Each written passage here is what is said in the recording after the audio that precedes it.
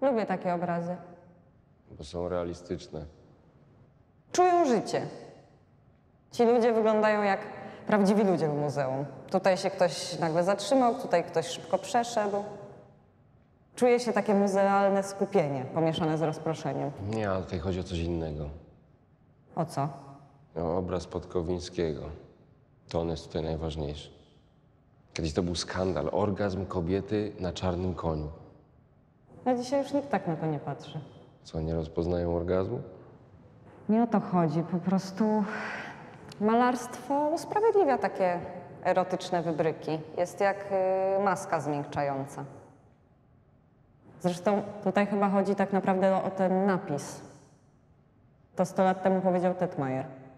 My, młodzi artyści, dzieło Podkowińskiego witamy z najwyższą radością. Kiedyś młodzi buntownicy bronili tego obrazu. Były skandale, było o co walczyć. A teraz nawet nie ma czego bronić. No, no. Nie wywołuj wilka z losu.